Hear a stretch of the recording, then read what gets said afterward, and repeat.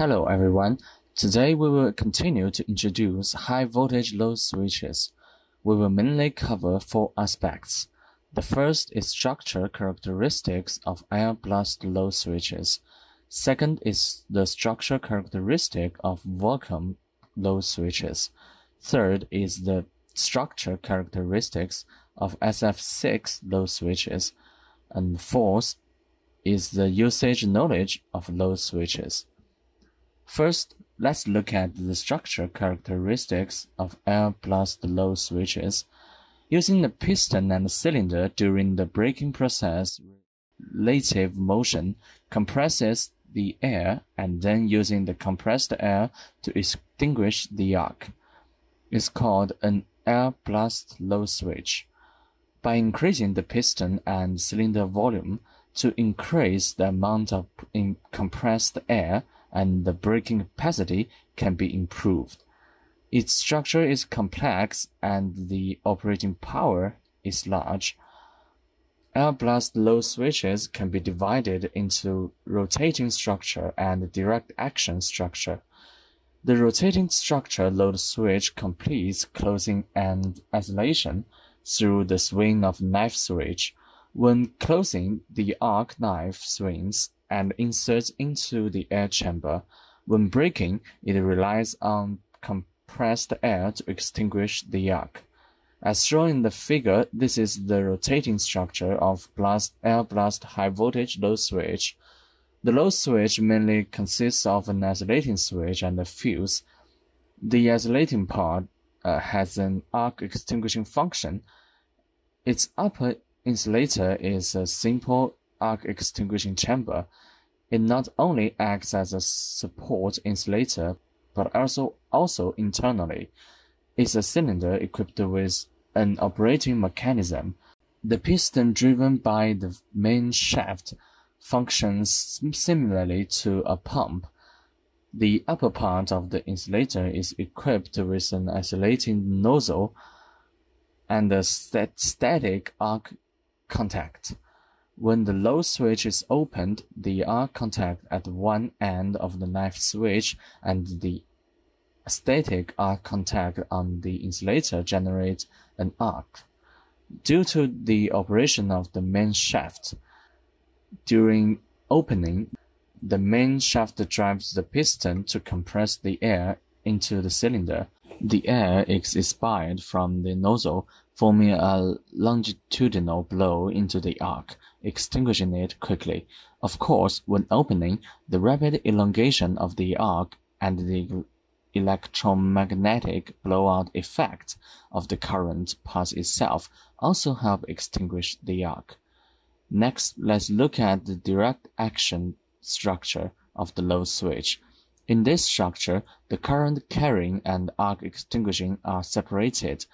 Compressed air is provided by the generating mechanism to provide compressed power by direct movement up and down of the conductive rod, and the arc is extinguished by the compressed air.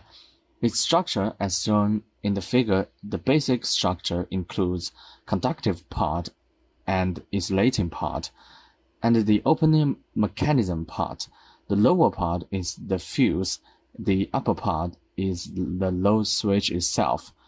For the air blast load switch, to improve the arc extinguishing effect, some use a hybrid arc extinguishing principle such as air blast plus gas generation. Next, we will introduce the vacuum load switch. The vacuum load switch uses a vacuum arc extinguishing chamber as an arc extinguishing device. It has the characteristics of high breaking current capacity and suitability for frequent operations. Its arc extinguishing chamber is simpler than that of vacuum circuit breakers, simpler in structure with a smaller diameter. As shown in the figure, to induce the height of load switch, the vacuum arc extinguishing chamber 2 is fixed on the isolating knife 1.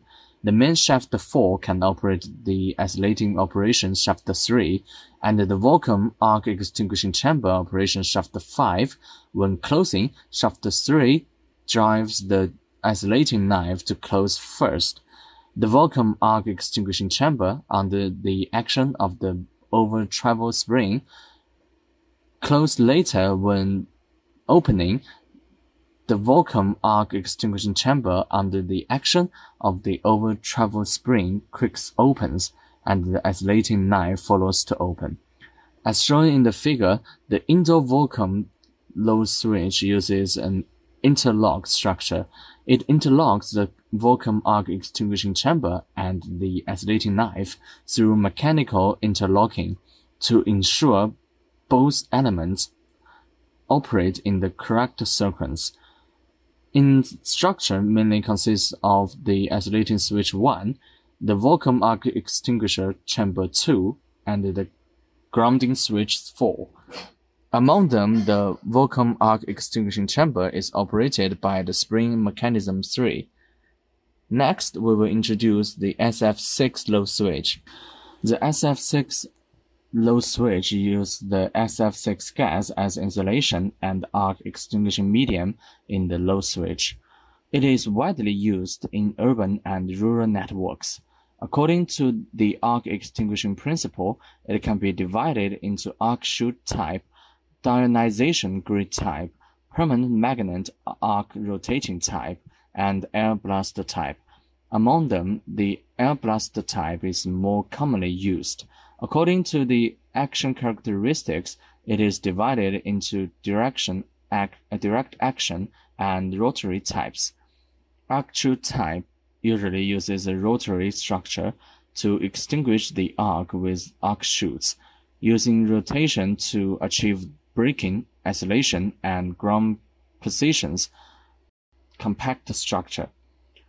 Deionization grid type, the arc extinguishing chamber is separated, separate housing, the arc extinguishing medium, the insulation medium are separated within the equipment. Its advantage is that even if the outer housing is damaged, it can still maintain full breaking capacity. Rotary arc type utilizes current combined with a permanent magnet to make the arc rotate around the fixed contact. The arc is elongated and cooled and extinguished when the current passes through zero. Up and down direct action air blast type. The arc extinguishing chamber is placed in a sealed housing filled with SF6 gas at the bottom of the metal housing. A safety valve is installed. The moving contact is operated by a quick operation mechanism unaffected by the operator. The grounding switch has short-circuit losing capability. Rotary air blast type.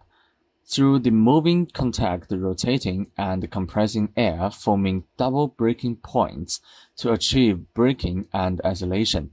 Some also achieve grounding function. The rotating moving contact form double breaking points. Finally, we will introduce the user's knowledge of load switches. When adjusting the load switch, pay attention to the following points. First, when closing the load switch, the auxiliary knife switch should close fast. The main knife switch should close later. When opening, the main knife switch should open first and the auxiliary knife switch should open later.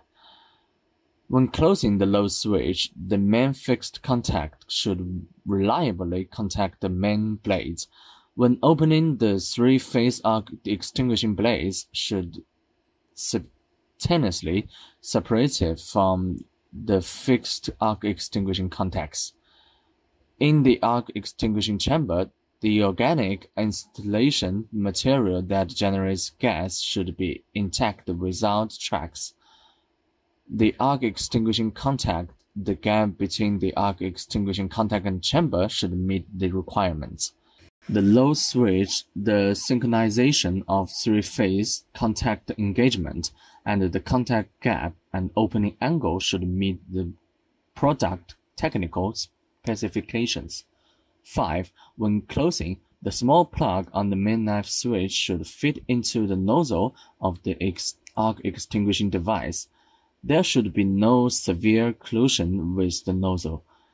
This concludes the content of today's lesson. Thank you, everyone.